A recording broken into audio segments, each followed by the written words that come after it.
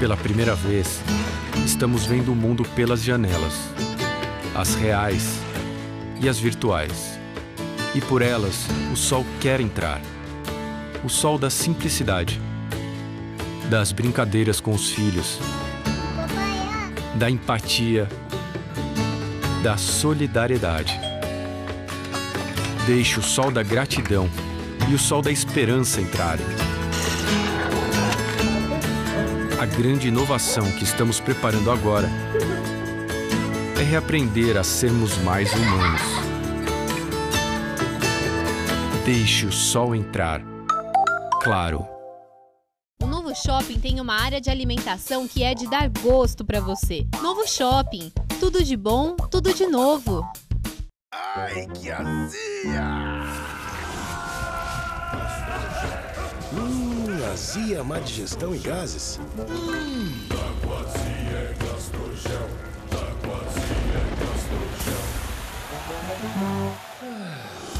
Gastrogel cria uma camada protetora no estômago e sua ação 3 em 1 promove o alívio imediato e duradouro da azia, má digestão e gases. Queimou, estufou, Gastrogel aliviou. Gastrogel. Se persistirem os sintomas, o médico deverá ser consultado. Cliente Fidelidade Tonin tem mais agilidade, tem mais descontos. Baixe o app e cadastre-se. Informe sempre seu CPF no caixa para agilizar o atendimento. Nossas lojas estão preparadas para receber você. Seja um cliente Fidelidade Tonin.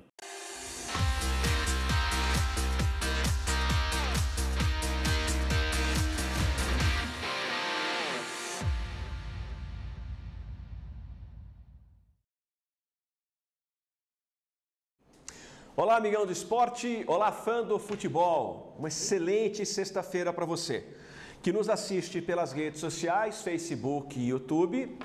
A você um bom dia, a você que nos assiste também pelas redes sociais à tarde e para você que nos assiste à noite, canal 9 da NET TVRP e também pelo canal 26 da cidade de Franca.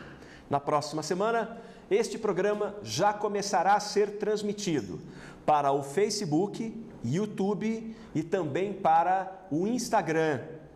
Esse programa também será transmitido pela rádio W Sports, que estará durante a programação musical com os nossos programas, o da manhã e o da tarde, onde nós teremos o W Sports Rádio no período da tarde com dois programas diários.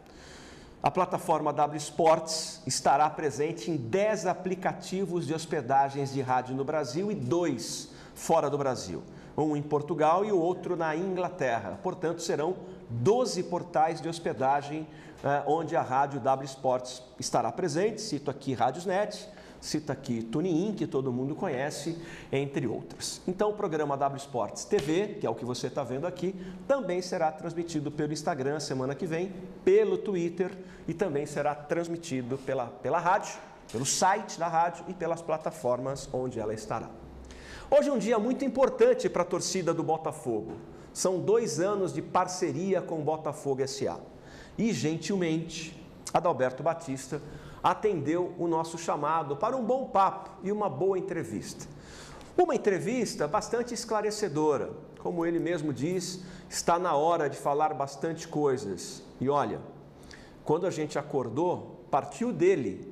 Me pergunte tudo. Não há censura para nenhuma pergunta. Todas as perguntas que vocês quiserem, eu vou responder. Antes de mais nada, o meu agradecimento, Adalberto, um prazer recebê-lo, ainda nos estúdios da W Sports, ainda com implantação, porque a gente chegou aqui 15 dias antes da pandemia, e aí pós-pandemia não pode entrar no prédio para prestar serviço, enfim, ainda estamos uh, nos adaptando aqui às mudanças. Desde já, muito obrigado pela tua presença. É um grande prazer recebê-lo aqui. Obrigado, Adalberto. Eu que agradeço a oportunidade parabenizo pela, pela estrutura que você está montando.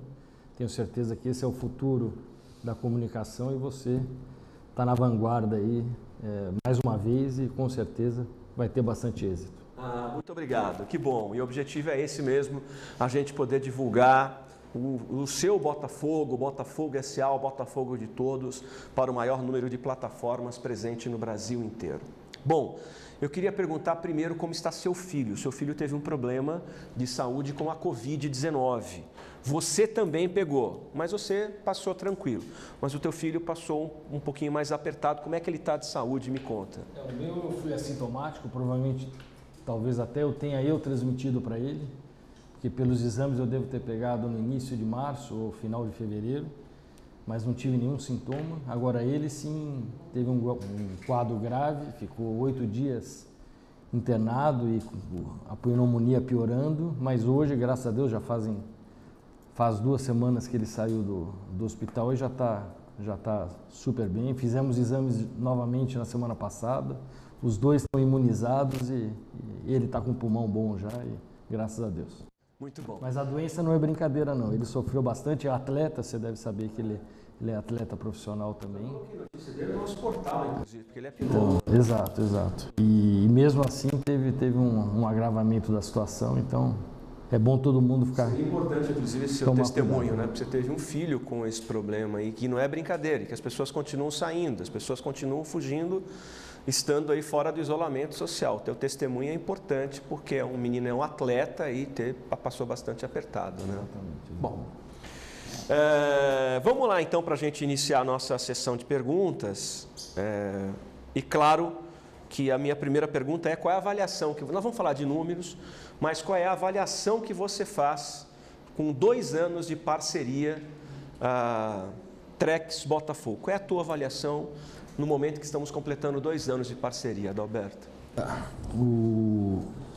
Bom, tem que analisar o, o, uma avaliação desses dois anos, tem que ser feito sob vários prismas. É, do ponto de vista esportivo, nós tivemos um sucesso antes do esperado, é, que foi o acesso da Série C para a Série B, é, realmente logo de cara, é, é, e não era esperado, a gente até tinha expectativa desse acesso acontecer no, no, ano passado, que seria depois de experimentar um ano a Série C, então desse ponto foi, foi positivo, e depois em sucessos, principalmente nos, nos dois campeonatos paulistas, é, eu acho que esportivamente fomos muito ruins.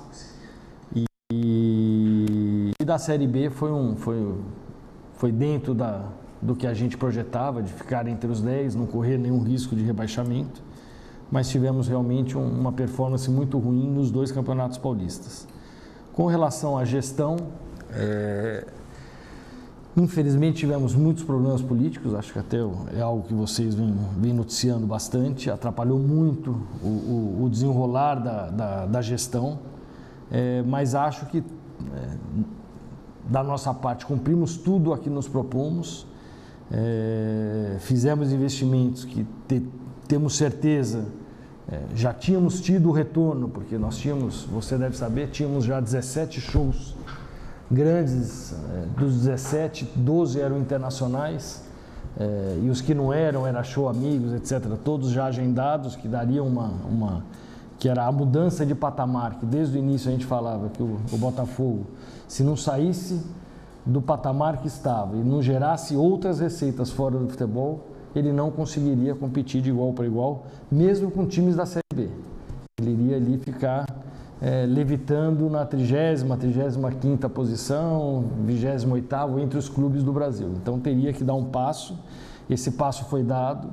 É, tivemos muitas dificuldades, principalmente regulatórias, vamos dizer assim, com o corpo de bombeiros, com aprovações, alvarás. É, a gente é, sentiu o que o ambiente político também atrapalhou, porque... Aliás, está achando minhas perguntas aqui sobre o ambiente político. Eu é. só estou pedindo desculpa, só estou compartilhando numa rede que só eu posso compartilhar, fica, fica mas é só para valorizar a nossa entrevista. Eu vou pedir para o Joãozinho também, o Cristóvão, é, para vocês compartilharem aí toda a parte da W Sports aí, porque é uma entrevista importantíssima para toda a nação botafoguense. Me perdoe, Adalberto, Não, só, só mais um compartilhamento. E esse ambiente político também atrapalhou, porque... É nós tivemos gente de dentro do Botafogo que a gente sabe que fez incursões, como que se autoriza uma, uma obra, como que não... Então, é, é, nós tivemos muito problema para conseguir inaugurar a arena, vocês viram, para conseguir alvará, para conseguir coisas que É, eu acho que a única arena do Brasil que tem sprinklers em toda extensão é a nossa. A única, fizemos uma caixa d'água de 200 mil litros, fizemos uma série de que encareceu a obra e porque realmente tivemos um, um, um, uma fiscalização além do exigido. Isso é coisas que os empresários falam. Não sei como se aguentou, não sei como, mas tínhamos que passar. Mas está feito. Infelizmente, essa pandemia é, é, o, o primeiro show estava começando a ser montado e, e, e teve isolamento social. É, esse setor de shows é um que eu acredito que vai ainda demorar mais do que o futebol para voltar, mas está tudo preparado e eu tenho certeza que quando voltar vai ser com, vai ser com bastante êxito. É, com relação ao que foi pedido para a Arena, eu lamento, né? Porque eu tenho bastante liberdade, eu já estou aqui há 30 anos, tenho um tráfico político muito bom com o prefeito, com a Câmara Municipal. Ribeirão Preto é uma cidade de donos, é uma cidade com potencial para ser capital, é uma cidade é, com PIB monstruoso, mas ainda é uma cidade com donos. Então eu não, o Botafogo não pode fazer show no estádio porque a mãe de quem, de uma pessoa importante da cidade, mora do lado do estádio, aí não pode fazer show. Também não pode fazer micareta, porque ali o, o projeto de moradores do bairro não permite né? quando na verdade são ações que enriquecem o turismo e trazem dinheiro para a cidade. Então, você não pode fazer um evento no centro da cidade, porque eu não sei quem mora no centro da cidade e não quer se incomodar com barulho. Então, eu já disse isso, Ribeirão Preto é uma cidade que tem donos ainda, com 700 mil habitantes, com a sua força política, sua força econômica, não pode isso, não pode aquilo. E aqui tudo é mais difícil. Então, o estádio do Botafogo precisa estar liberado, estar liberado como Camp Nou. E aí eu vou fazer jogos aí no interior de São Paulo e faço jogos em verdadeiros puleiros. Mas é a mesma polícia militar, é o mesmo corpo de bombeiros, é o mesmo Estado. Por que tanto rigor com as coisas em Ribeirão Preto? É difícil. São vários amigos que pretendem instalar empresas, que era para instalar em dois meses, mas aí a prefeitura não libera, o bombeiro não libera, a polícia. Quer dizer, o negócio que era para resolver em dois meses fica um ano. Porque Ribeirão Preto ainda é uma cidade que tem donos aqui, tem gente que manda numa cidade de 700 mil habitantes. Mas isso vai acabar. Já já a gente chega em um milhão de habitantes, o aeroporto internacional né, vai, vai ficar pronto e aí a cidade vai andar sozinha. Mas é incrível como Ribeirão Preto é exigente com o empreendedor, com o investidor na cidade. Parece que as pessoas não querem que abra empresa, que tenha shows, que tenha micareta. Parece que as pessoas não querem. Cidade é só minha e ninguém vai entrar. E isso vai acabar apenas um desabafo, porque eu vou em cada estádio. Você sabe, você vai. Você vai em cada estádio, que são verdadeiros puleiros. Não é o mesmo corpo de bombeiro, não é o mesmo alvará da federação, não é?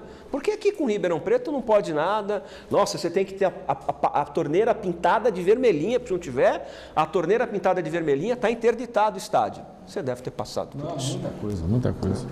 Bom, eu vou começar a nossa entrevista e vou falar de futebol, viu, torcedor? Mas eu vou começar lá de trás. Como você me deu a liberdade de perguntar tudo? Bom, aí quando você chega, ah, houve uma grande alegria como investidor, como acontece em qualquer lugar. Aí, numa entrevista sua, você falou: olha, o Botafogo em três anos estará entre os 20 maiores clubes. Do... Você falou até 30, né? Os 30 maiores clubes do Brasil, e menos do que isso, o Botafogo chega à Série B. Hoje está em 20 clubes do Brasil. Mas na sua carta de intenção como parceiro do Botafogo não estava a construção de uma arena. Estava o investimento no futebol. Departamento de futebol, levar o time para a Série A, do Campeonato Brasileiro, você até chegou a falar em Libertadores. Aonde é que a arena surge nesse negócio para que ela seja construída? Ou as pessoas que já envolviam o projeto teu já sabiam dessa arena? Quando é que a arena surge definitivamente num projeto que até então era só de investimento no futebol, Adalberto? Não, era de investimento na instituição. O, desde o primeiro momento, desde o primeiro momento que foi apresentado no Conselho Deliberativo do Botafogo já constava o plano da arena. Ele foi se modificando muito até pela viabilidade econômica que ele foi se demonstrando. Então, é, houve uma, uma ampliação é, do que seria inicialmente a arena, mas sempre o, o objetivo foi alavancar, é, mudar o, o, o, e ter novas receitas para conseguir subsistir e competir com os outros clubes de, em igualdade. Desde o momento zero, inclusive, é, alguma, acho que algumas palestras até você estava presente, acho que uma do LID, se não me engano. E sempre eu falei, eu estava hospedado no Hotel Mont Blanc, quando eu vi o estádio, vi a localização do estádio e foi dali que começou uma, uma aproximação que depois o, o, o Bariza nos aproximou com a diretoria, etc., e que, e que teve todo. Mas desde o início, olhando lá de cima, a possibilidade do que nós fizemos no Morumbi e depois do que o Palmeiras fez no Allianz, mais, mais, de forma mais concreta. Antes de você se interessar nesse negócio com o Botafogo, você estava comprando um time da segunda divisão do futebol português. Procede? Não, estávamos olhando alguns clubes de Portugal e, e, tinha um da segunda divisão que nós estávamos bem avançados para efetivar a compra. E a parceria seria como a do Botafogo, semelhante, ou seria a compra efetiva do time? Lá já são sociedades, são SADs, então lá já tem, mas é uma, já é uma coisa regulamentada e, e não há a, a, emoção que há no Brasil e não há a, a ingerência das, da associação civil dentro da. como, como aqui a, as pessoas gostam de, de, desse ambiente político e, e, das torcidas organizadas e do, e do torcedor querer fazer então, lá as pessoas vão para torcer, vão, tem o time, etc., mas eles não se envolvem tanto na gestão do, do clube. E lá as SADs já são regulamentadas, então seria mais fácil a, a, do que criar um modelo novo da forma como a gente montou. Você pode revelar qual time seria? Não, eu prefiro não, porque. Eu quero te mostrar uma matéria da Veja bastante interessante. O nosso produtor, o João Vitor Menezes, vai colocar aqui. Uh Matéria da Veja, Adalberto. Red Bull Bragantino, clube empresa, promete voar em 2020. E eu separei alguns trechos dessa entrevista para a gente poder discutir. Essa é, essa, esse aspas é do Tiago Escuro, que é o CEO do Bragantino, do Red Bull Bragantino. Estamos em fase de estudos. A intenção é transformar o Nabi Abichedin em uma arena mais confortável, onde possamos desenvolver outras ações. Não queremos que o torcedor passe apenas duas horas do jogo ali, que encontre outras formas de entretenimento. Ele ainda afirma: o clube quer ampliar a capacidade para pelo menos 20 mil, capacidade mínima estabelecida pela Comibol para receber as partidas internacionais. O Red Bull Bragantino também pretende construir um novo centro de treinamento para a equipe profissional sub-23, numa área de 150, imagino 150 mil metros é, né, quadrados em uma cidade próxima a Bragança. Temos mais um trecho, João? Em alta, em, em, alta com a matriz, o Bragantino espera que o investimento com futebol cresça. Em, eh, se em 2019 foi de cerca de 45 milhões de reais, os dirigentes querem 200 milhões de reais para o próximo ano, cifra pouco menor que a receita do Santos, então, à época, o terceiro colocado da Série A.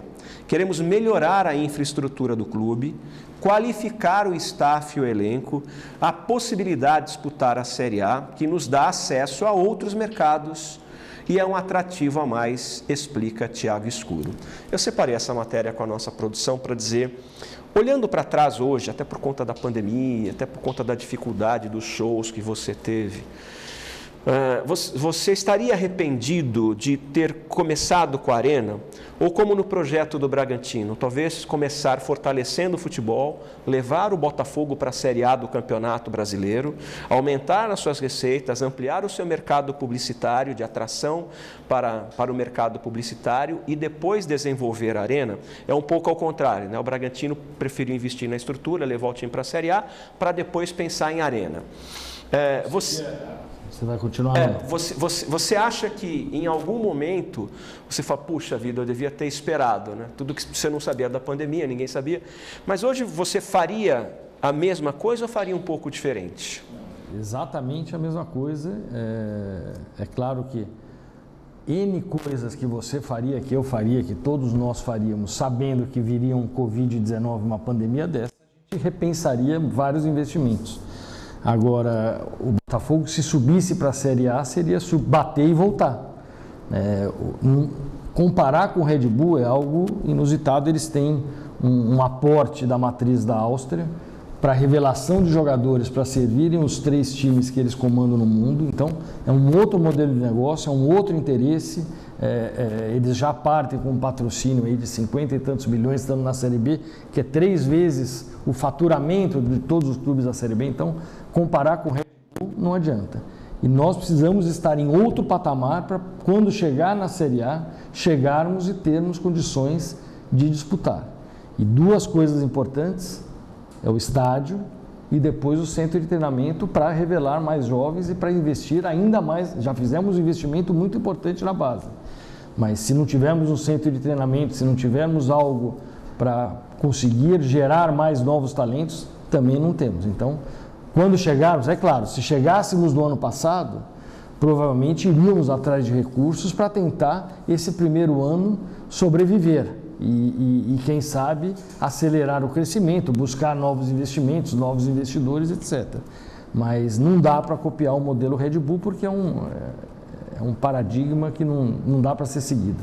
Aí você falou na construção de um centro de treinamento. Dentro do teu planejamento, é, isso é, estaria em andamento quando?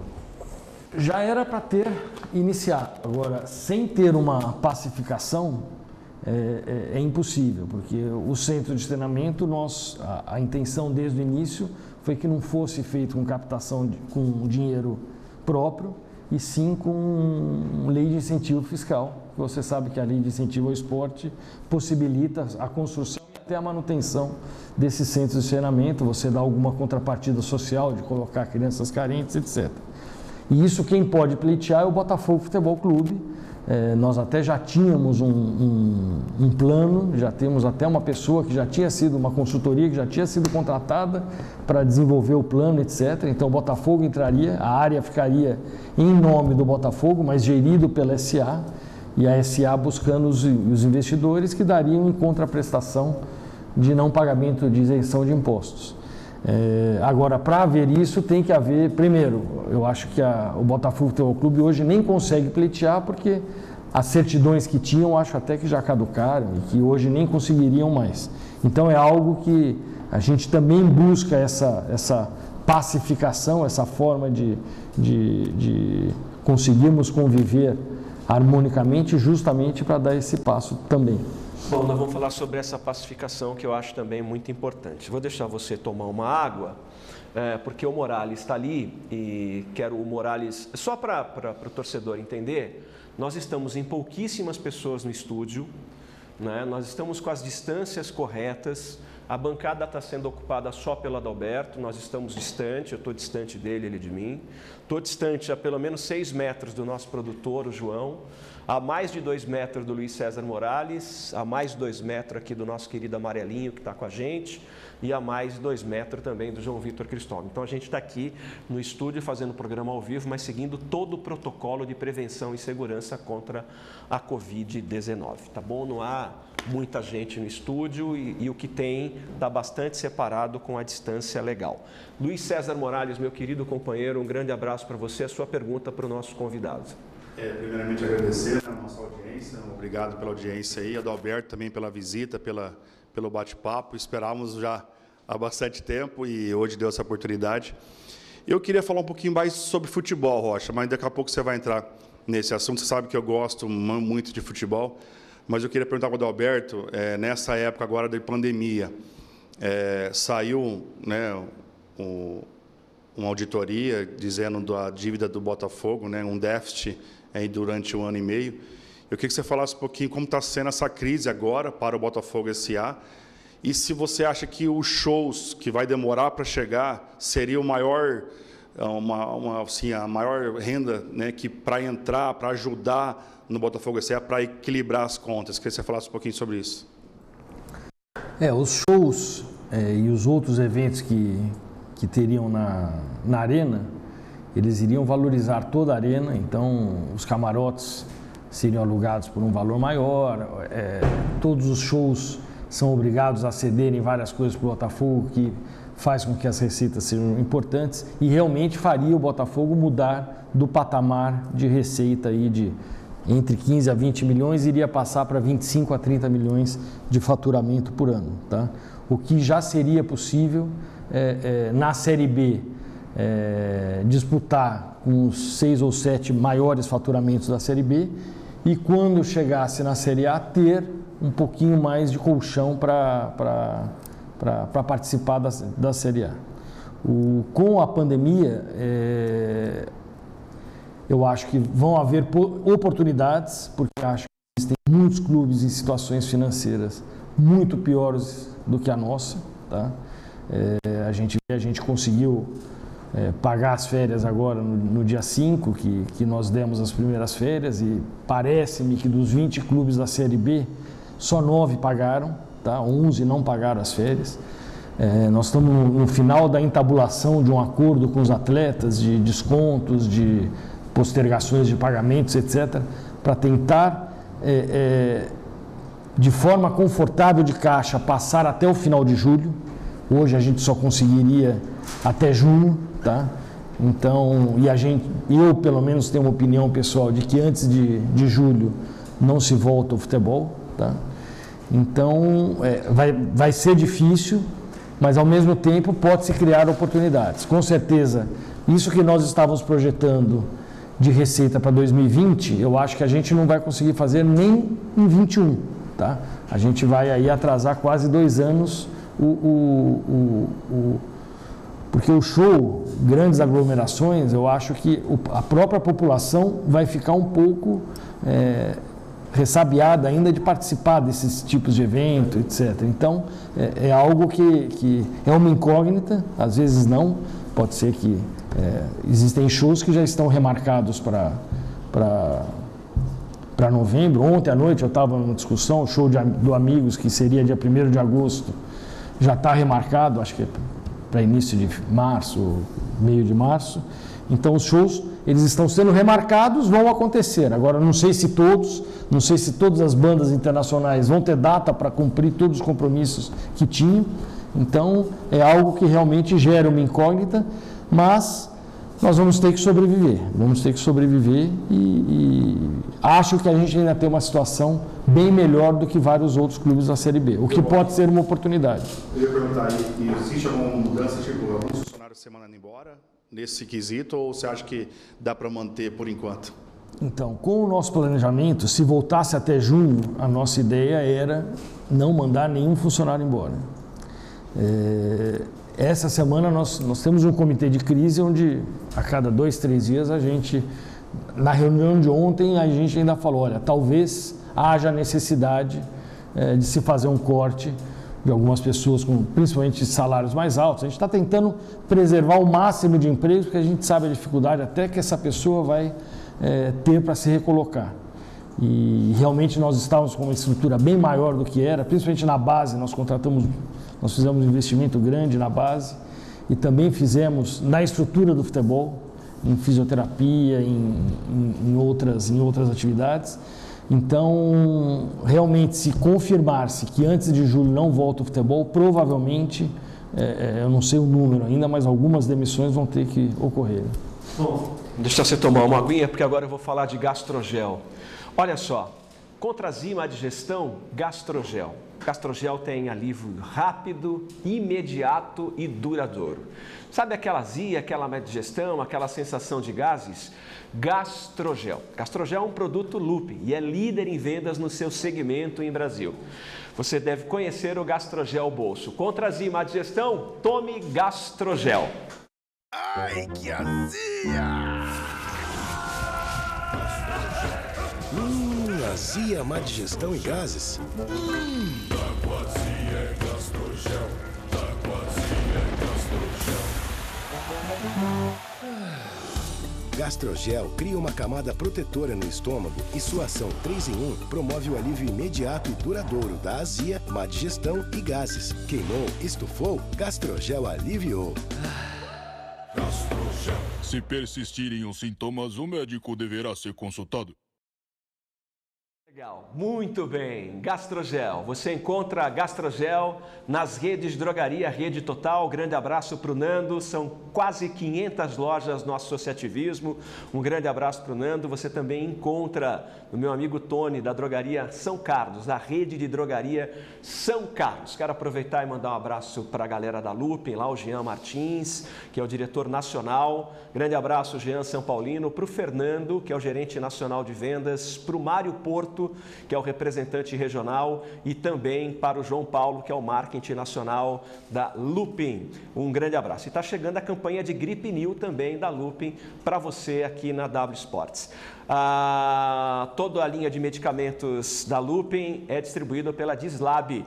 Grande abraço para o Rogerinho e para o Flávio. Meus parceiros de beat soccer, nós moramos no mesmo condomínio, rola um beat soccer lá todo final de semana, mas agora fecharam a quadra de vôlei lá e o Flávio e o Rogerinho não podemos mais jogar um beat soccer. Também a distribuição da Medicamental. Grande abraço para o Benito, grande Benito, bom gaúcho. Para o Zé Maria e para o Fernando. E na JK para o nosso Zé. Grande abraço, Zé, para você, toda essa galera aí da distribuição de medicamentos aqui de Ribeirão Preto e da nossa região. Gastrogel contra azima digestão tome Gastrogel. Eu já já vou entrar no futebol. E o programa não é gravado, gente, o programa é ao vivo.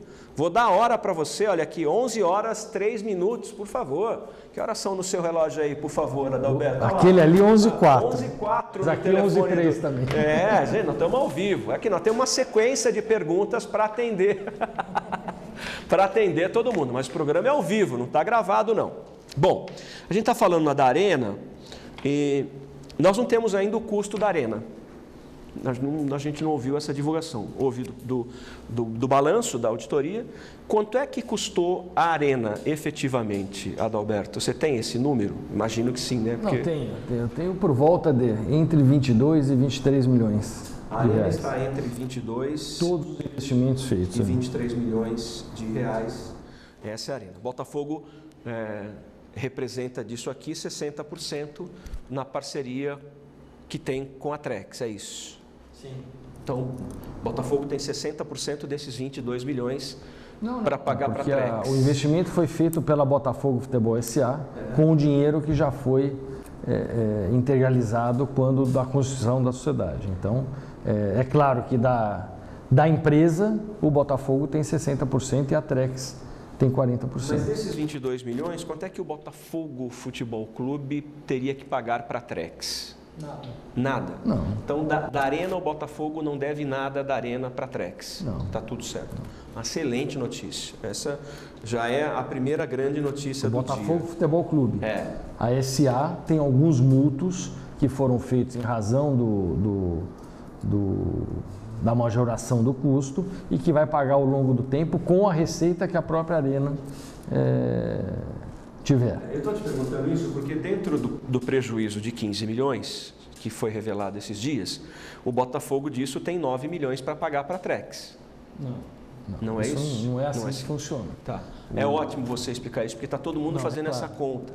Caramba, Primeiro mas deu 15 milhões de prejuízo. É do exercício de 2019. É desde que começou é, o projeto segundo em semestre de 18 de, e o exercício de 2019. De 18. O, e é, há, um, há, um, um problema contábil também. Primeiro, essas despesas, esses investimentos foram feitos pela Botafogo Futebol SA. Botafogo Futebol Clube não tem nada a ver com isso. É claro se o Botafogo Futebol Clube, amanhã, Botafogo Futebol SA, amanhã fechar, a Trex tem que arcar com 40% do prejuízo e o, e o Futebol Clube com 60%. Agora, isso não é um prejuízo operacional, tá?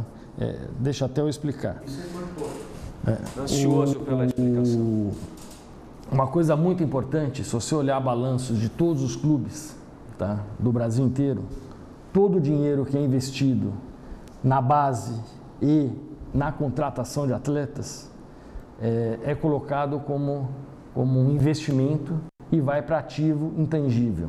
Tá?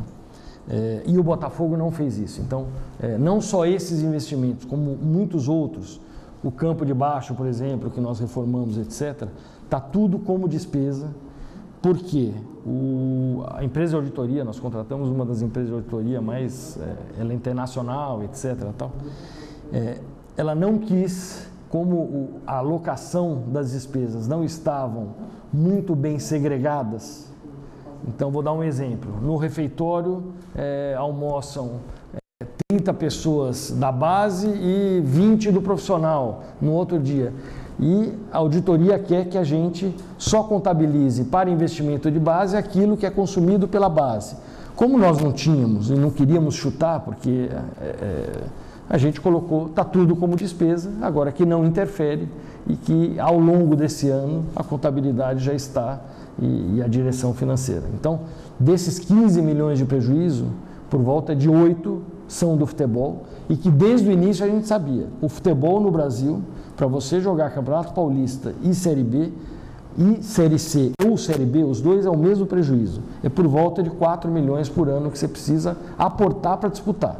Não tem jeito. Você não consegue entrar para minimamente participar da competição se você não arrumar 4 ou 5 milhões é, de outras receitas. Tá? Além de patrocínio, etc. Nenhum clube consegue. Então, é, e isso já era previsto desde o início também. Esses 4 milhões que foi gasto a mais na, na Série C. Só que o ano passado a gente gastou mais do que 4. Porque infelizmente a gente teve aquele, aquele aquela performance pífia no Campeonato Paulista. É, os quatro jogadores onde nós, que nós mais investimos, mais caros, não deram nenhum retorno, nós tivemos que rescindir com os quatro, gastar com os quatro para remontar o time para o Campeonato Brasileiro. Remontar não, mas pelo menos é, é, é, enxertar. Então isso, isso realmente fez com que aquela previsão inicial dos 4 milhões se, se excedesse um pouco. Mas não é tudo é, prejuízo. Tem muito investimento que foi feito e você aqui, nesses dois anos, deve ter entrevistado todos os técnicos que passou. Tenho certeza que todos, estou é, te perguntando, agora o entrevistador tenho certeza que todos devem ter elogiado a estrutura que nós estamos colocando, as condições de trabalho que nós estamos colocando. Então, tudo isso é investimento que está sendo feito para preparar o Botafogo para o futuro. Não adianta subir e cair no ano seguinte, depois cai e é uma queda livre que você nem consegue se manter depois em Série B, etc., porque você acaba até gastando mais do que poderia numa divisão superior. Bom, você faz uma pauta, mas aí a, a, os assuntos vão entrando e a, aí não tem jeito de você seguir a pauta. O torcedor do Botafogo está morrendo de medo. Ele está fazendo a seguinte conta. Bom, já tem aí 15 milhões, 60% do Botafogo, 9 milhões. Aí a história da Arena, que eu queria mais uma explicaçãozinha. 22 milhões da Arena. Nós vamos ficar devendo tanto para Adalberto Batista e para Trex, tanto, que nós não vamos ter como pagar. E aí o Adalberto, nós vamos ter que dar o estádio para Adalberto. Não é, não é Adalberto tomar o estádio, nós vamos ter que dar a, o estádio para Adalberto. Nós estamos ficando muito devedor, estamos devendo muito, olha, estamos devendo isso, estamos devendo aquilo. E o torcedor começa a ficar desesperado com relação a perder o estádio do Botafogo para a Trex por tantas dívidas, por, por, não são, portanto que tem que pagar por tudo isso. Então, é, eu, eu, só queria de novo com relação ao, ao estádio. Pra... Pode, tá. Com relação a esse seu comentário. O torcedor está morrendo de medo de perder o estádio, porque ah, ah, ah, o Botafogo já perdeu o pole, numa região nobre da cidade, vendeu a preço de banana para pagar a dívida trabalhista. Aí o Botafogo, é, coisa que eu estava alertando lá em 2020, que a vida que o Botafogo estava levando, perdão, em 2000, fretando avião da Passaredo. Você não sabe. O Botafogo fretou um Embraer 120, porque não tinha chegado da linha TR. Botafogo fretou um avião para jogar em São José dos Campos. E mandou um ônibus double deck da Petito com o staff. Você imagina esse derramamento de dinheiro. Você fretar uma aeronave e o Botafogo começou. O Botafogo tinha dinheiro, o Axial estava ali e vamos embora. O Botafogo chegou a plotar um avião da Passaredo para viajar, e viajava, e hotéis. Eu fui fazer Botafogo e Cruzeiro, falei para o taxista, me leva no Ouro Minas. Quando eu cheguei lá, olhei e falei, Botafogo não deve estar aqui, né? Não pode ser. Mas o senhor espera um pouquinho que eu vou ver. Senhora, eu sou jornalista, o Botafogo está hospedado aqui, está sim, senhor, faz quatro dias. Você imagina, o Ouro Minas é onde ficou a seleção da Argentina. E se já é um excelente hotel hoje, você imagina lá em 2000 que era. Então o Botafogo, quando tem dinheiro, faz um monte de bobagem e perde um monte de coisa. Não é, não, não é o que eu estou dizendo da Trex, mas estou dizendo com tudo que apareceu aí, Futinvest, Ibiza, etc. e tal. E o Botafogo foi perdendo as coisas. Portanto, o que ficou para o torcedor do Botafogo foi o estádio Santa Cruz. Ele está morrendo de medo de perder para você o estádio, por conta desse tanto de, de dinheiro que o Botafogo tem que te pagar. Por favor, não, e o torcedor tem que ficar muito apavorado mesmo, porque tem muita chance de ele perder o estádio, mas não é para mim, não é para Trex, não é para SA, é pelas dívidas fiscais, pelas outras que foram contraídas, pelas dívidas com Curitiba, por uma dívida grande que apareceu agora, que ninguém conhecia de Santa Catarina, que bloquearam algumas, alguns recursos da federação. Por quê? Essa conta que você está fazendo, me desculpa corrigi-lo, mas é que você não tem o conhecimento que deveria ter lá interno do. É, todo, todo o dinheiro que deve da Arena já está nesses 15 milhões que foi de prejuízo, e desses 15 milhões, nós estamos com 12 de dívida. Por quê? Os outros cinco, foi o que eu falei, já tinham sido aportados como intervenção de capital. É sensacional que você está dizendo. Esses 12... Estou falando que esses 15 não tem nada da arena. não deve. O Botafogo, espero continuar assim, porque a gente não sabe como vai passar da pandemia. O Botafogo S.A. não deve um real de imposto, um real de salário, um real é, de nada. Tá? E não tem um empréstimo em banco. Tem alguns mútuos que foram feitos com a Trex, onde ele só vai ser pago quando as receitas da arena não vai ser tirado um real do futebol para se pagar essas despesas.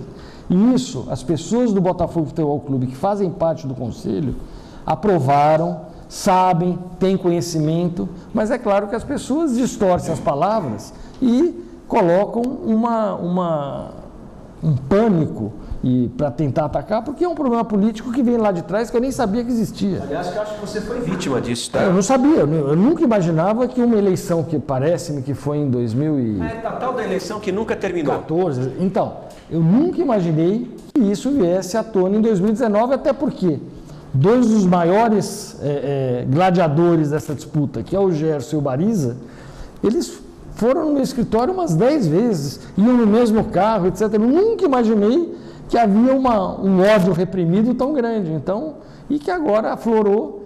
E infelizmente, eu só não venho diariamente, o, o Luiz ainda pede, a gente precisa comunicar. Porque cada comunicação dessa, você está sangrando o Botafogo. Cada visita que eu faço num patrocinador, os primeiros 30, 40 minutos, é explicando eu tenho que explicar a situação política do Botafogo. Então eu vou na passarela, poxa, como que está lá? Mas por que, que eles fazem? Mas e isso? E por que é, sabe, casal quando briga em público, você tem que. Então é terrível. Por isso que a gente não fica todo dia é, combatendo essas, essas mentiras que são ditas e, e só por pessoas que perderam é, interesses lá dentro. Você vai ver, se elenca as 10 pessoas que ficam mandando mensagens que ficam turbinando com pergunta, que ficam falando, que ficam colocando essas mentiras. Um administrava não sei o que, um tinha um salário não sei o que, o outro sobrinho ganhava não sei quanto, o outro prestava serviço disso, daquilo. Então, e são coisas que numa gestão você tem que fazer cotação. Tudo lá tem três cotações, tem, tem um sistema de gestão profissional. É, não é político. Na política, você tem que empregar aquele para fazer política.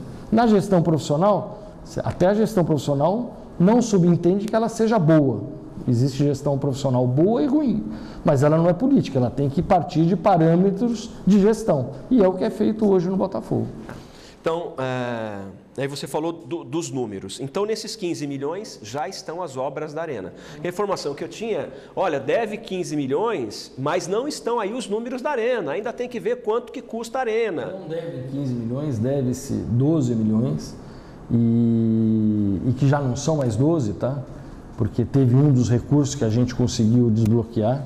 Eu acho que esse número deve estar em 10 milhões e pouco. Então, o, o exercício metade de 18 e todo de 19, uh, os números são de 9, 10 milhões hoje e não mais de 15. Sim. Tá. Números de despesa, sim. Tá sobre o estádio. Você falou assim, não vai perder para mim, mas pode perder por causa das dívidas tal. Nessa entrevista, você me garante que a Trex nunca vai botar a mão no estádio do Botafogo? Não, eu não posso. Eu, eu te garanto o seguinte: eu nunca vou tomar nenhuma atitude para que o estádio venha para a Trex. E para a Trex não virá. Mas eu não duvido que o estádio vá a leilão e que se tiver uma proposta viu a Botafogo Futebol SA, vai e exerça um direito de preferência pelo mesmo preço, que é o que consta na escritura. Mas quem vai perder o estádio é o Botafogo Futebol Clube se continuar não gerindo as dívidas da forma como deveria estar gerindo. Só isso. Tá bom. Bom, olha só, é, nós vamos falar da área do futebol já já, tá? É, nós vamos ler algumas perguntas. Gente, nós estamos com uma audiência espetacular e nós vamos ler perguntas do torcedor. Só mais um minutinho. João Vitor Cristóvão está comigo. Na... Tá tudo tranquilo, Adalberto? Tá bacana? Tudo ótimo. Tá bem? Tá beleza? Uh, João Vitor Cristóvão, por favor, a sua pergunta. Vamos lá, tem bastante gente mandando mensagem aqui, a gente está selecionando algumas, né? As mensagens estão correndo rápido aqui, tem bastante gente perguntando também sobre o ato, ato trabalhista, né? E também sobre o refis. É, emendando nessa pergunta, o Festucci disse aqui em entrevista para nós que o ato trabalhista só está sendo pago porque o próprio Festucci conversou com você, bateu um papo para que ele pudesse ser pago em dia. E se caso o Festucci saísse da presidência do Botafogo Futebol Clube, esse ato poderia ser é, parar de pagar, né? Você poderia pagar, parar de pagar porque é, o Festucci sairia do Botafogo Futebol Clube. Existe essa possibilidade? O ato está realmente em dia? O refis? Como é que está essas partes das dívidas do Botafogo que você estava comentando também? É, não é, não é por ter alguma preferência pelo Festucci ou não. O, é que já é a quarta vez que eu sento com o presidente do Botafogo Futebol Clube, a gente faz uma programação e, e, e alinhava uma forma de solucionar as dívidas, coloca no papel, negocia e depois é, não acontece. A última foi com o Dimitri, é, em meados de dezembro, e depois ele acabou renunciando. Tá? E, e, o refis não tem jeito, tem que esperar um novo refis, porque o Botafogo Futebol Clube perdeu o refis. O ato trabalhista, o, o, o Oswaldo me falou, é, porque a pessoa começa a tomar. O Oswaldo não tinha conhecimento de tudo. Ele veio, foi mostrado para ele tudo que tinha sido feito, como que estava alinhavado o acordo, todas as coisas que tinham partidos do próprio Botafogo Futebol Clube. Ele tomou conhecimento, montou uma nova comissão, participou o doutor Virgílio, que já tinha sido nomeado para o Conselho Administrativo, participou o doutor Hermenegildo, que é o, o, o presidente do Conselho Deliberativo, tinham mais três ou quatro pessoas foi se negociando, ainda se mudou, eu não queria mudar mais nada, e ainda se mudou mais, mais duas, duas coisas por, por, por exigências que eu acabei aceitando, tá?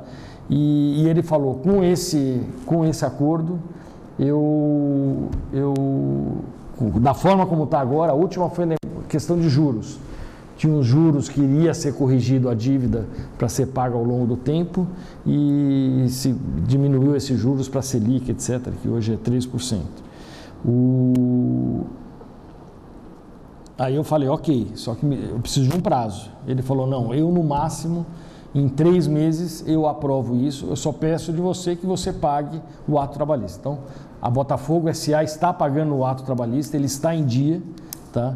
É, ele pediu mais um prazo para se aprovar esse acordo, é, porque veio, veio, veio o Covid, não conseguiram fazer a reunião de conselho, não se pode reunir para fazer. Eu falei, não tem problema, não é mais um ou dois meses, esse problema é para todo mundo. Então, é por isso que está pagando, não é por ser o Festuce, mas é porque a gente fez, e eu falei que seria o último compromisso, porque eu já tinha feito três outras vezes é, e não prosperaram.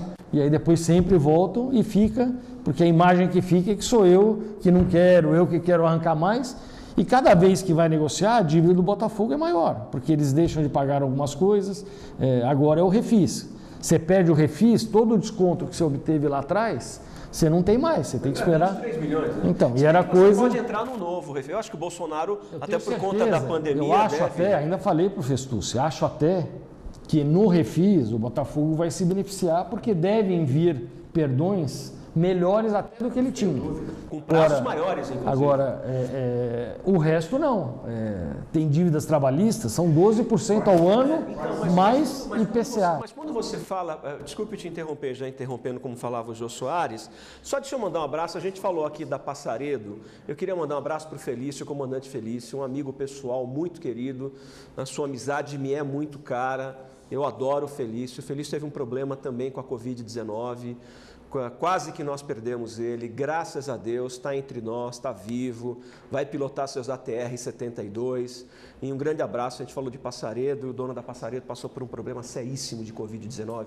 Então, comandante Felício, eu tenho falado com ele pelo WhatsApp, que bom tê-lo recuperado. Quando você fala assim, o Botafogo pode perder o seu estádio, não para Trex, mas por outras dívidas, o re- a, a dívida tributária, vem aí um novo refisco, eu também não tenho dúvida com relação a você, com prazo maior, abatimento maior, enfim. Mas tem tantas dívidas assim que pode botar o estádio do Botafogo em risco, mesmo. E as dívidas precisam ser equalizadas. Tem uma dívida com Curitiba, que são 2 milhões, é, eram 400 mil, já transformaram em 2 milhões e meio. É a maior dívida do Botafogo? ou Tem Eu acho que maior? individual é, de É. particular é. É, Só que se passar mais um ano, o 2 milhões e meio, a dívida na justiça, ela corrige de uma forma que nenhum investimento corrige. Você sabe disso, porque tem juros moratórios, compensatórios. Então, 12% ao ano, mais sei. Quando você vai ver, é, esse 2 milhões e meio vai virar é, 3,500 no ano que vem, no outro ano vai estar 5. O problema é esse. Quanto você acha que tem de dívida trabalhista, fora o acordo que você está pagando aí? Uns 12 milhões? Não, eu acho que, não- fora o acordo, Fora o acordo. eu acho que é pouca coisa. Acho que 2, 3 milhões no máximo. Bom, vamos lá. É, eu já tenho já já um intervalo, né, para gente poder, para gente poder falar. Por que, que não deu? o, grupo estava tão fechado, o Dr. Mauad, o Bariza, de repente houve um racha. O que, que aconteceu com, com, com- pô, pessoas de ser um grande empresário, o Dr. Mauad um grande médico, o Bariza outro grande empresário do segmento. O que, que aconteceu para rachar esse grupo, Adalberto? Do Total Mauad eu sei, foi por uma questão é, pessoal minha para com ele, em razão de um de duas negociações imobiliárias, etc., que ele mudou o comportamento depois que essas Ele quis negociações. vender alguma coisa, é isso? É, uma ele quis vender e a outra foi do Santa Ili- Iria. iria, é, que ele também tinha uma participação para vender, etc. Tal, e que acabou não prosperando e, e- e- acabou indo para outro, outro comprador. E, então há uma, há, uma, há uma causa porque foi algo pessoal. Do Bariza, é, realmente eu, só pode ser essa, porque eu tinha um relacionamento muito bom com ele pessoal. É uma pessoa que participou de todas as decisões, me ajudou muito na arena, me ajudou pessoalmente. É, tinha, tinha necessidades às vezes, porque ele é um engenheiro, engenheiro capaz e, e competente, é, e, e realmente ele foi. E de uma hora para outra ele realmente, é, quando ele viu uma oportunidade de, de, de, de, de conseguir atacar o Gerson, é, eu percebi que de, de posicionamento e, e realmente até hoje eu não entendo, porque ele trouxe algo do passado e, e é aquela coisa que fica enrustido na pessoa que vê o outro que ele não gosta ter sucesso. Que me causa muita estranheza, é, é, bom, eu acho que o investidor deveria ser adorado pela torcida. Pô, o cara chegou, está botando dinheiro, tem projetos. E eu não vejo muito isso acontecer no futebol, né? O Lacerda sofreu muito lá no comercial, você também tem sofrido bastante. E para mim você é vítima de um sistema político, de uma eleição que não terminou até hoje. Eu sempre digo que aquela última eleição, causa de briga, dessas coisas. E aí você chega nesse fervilhão, você já comentou, eu, eu também acho uma pena. Falou do Gerson. Por que, que o Gerson não sai da presidência da SA né, quando já poderia ter saído? A informação que eu tenho é que o Gerson já demonstrou interesse em sair, mas você fala: não, você não vai sair, você é uma pessoa de confiança, até porque você deve ter um gestor, um, um presidente profissional para Botafogo SA e que você vai ficar até que esse CEO, ou presidente, chegue para ser. Por que essa. Todo mundo, ah, mas o Gerson, o Gerson tem que sair. O Gerson não sai da presidência da Botafogo SA. Por quê? O cargo do presidente da SA é indicado pelo Botafogo Futebol Clube e foi indicado o Gerson. O Gerson é uma pessoa extremamente competente. É, tanto que ele teve, e, e, acho até que a briga do Bariza com ele é essa, porque a pessoa pede eleição e quer atacar, e o Gerson teve um êxito que ninguém pode negar. Ele subiu o time da Série D para a Série C, ele estava conosco quando subiu da Série C para a Série B, queira ou não, se manteve na, na, na, na Série A1 do Paulista, que a gente sabe a dificuldade, hoje mais ainda a gente sabe o quão difícil é, e com parcos recursos. Acho que dentre os presidentes o Gerson é o que pessoalmente tem menos recursos financeiros para poder é, emprestar ao clube ou fazer é, é, é Aquilo que você viu uma não está no programa não, tá, tá só para o break. E, e, então, e o Gerson está lá, o Gerson me ajuda muito no trânsito bom que ele tem com outros clubes, com federação, com confederação. É, às vezes eu preciso ser um pouco mais duro na negociação, ele mais mole. Então, quando tiver um presidente, um, um CEO efetivo, contratado no mercado, ele vai sair. E ele já se colocou à disposição. Agora, não é ele sair para o cargo ficar vago, até porque a gente precisa de alguém lá até para fazer esse papel de representatividade. Do Botafogo Futebol Clube? Essa, não, nunca, cê, nunca cê, foi dessa a, a eleição, a, Quem decide é quem, quem que está no conselho administrativo. Ó, o presidente vai ser. O Botafogo indica ou cria um processo de seleção e o conselho administrativo da, da SA nomeia. O Gerson já colocou o cara à disposição e o conselho pediu para ele ficar. Não sou eu, Adalberto, é porque ele é efetivamente está fazendo o trabalho. As pessoas, assim, ó, quem não quer que, que, que, que, que dentro dessa transparência gostosa claro. que a gente está tendo, as pessoas não. o Adalberto não quer que o Gerson saia, porque o Gerson é o homem de confiança do Adalberto. O Gerson sabe de tudo o que aconteceu na SA até o momento. O Gerson já colocou o cargo à disposição e o Adalberto não quer. E aí você está me dizendo, não, não é o Adalberto que não quer, é o conselho que não quer. Então, quem. quem o conselho. que eu ganho, é. na, na minha convicção, tem decisões que eu perco e tem decisões que você coloca o que você acha que as pessoas concordam. Como o Bariza e o Mauad concordaram com 95% das decisões que a gente tomou durante todo o período que ele estava no Conselho. Então acontece, do Léo Franco, que falam para o Léo Franco. Quem está lá sabe qual é o papel do Léo Franco, qual o jogador que o Léo Franco indicou, qual que o Oswaldo indicou, qual que o Gustavo. Por que, que a gente vai arrumar um bode expiatório? É fácil, né? Você pega o elo mais fraco da corrente e fala, a culpa é desse aqui. Agora nós lá não somos, por isso que não é uma gestão política. Se fosse, ele já teria sido demitido, com certeza, etc. Mas não é. A gente tem que avaliar o trabalho da pessoa e o que ele está fazendo. Bom, eu estou indo para o intervalo, tem mais perguntas ali, tem um monte. O programa é ao vivo, sim. Nós estamos com 153. Nós vamos falar muito de futebol, nós vamos falar sobre Léo Franco, vamos falar sobre Gustavo Vieira, vamos falar de investimento, não é? É, se o grupo de oposição tem atrapalhado o investimento do Adalberto no futebol. Tem perguntas muito bacanas, não sai daí, o programa não está terminando, é só o intervalo e a gente volta já já, porque a comissária de bordo vai servir o café da manhã e a gente volta, o serviço de bordo, a gente volta já já, não saia daí.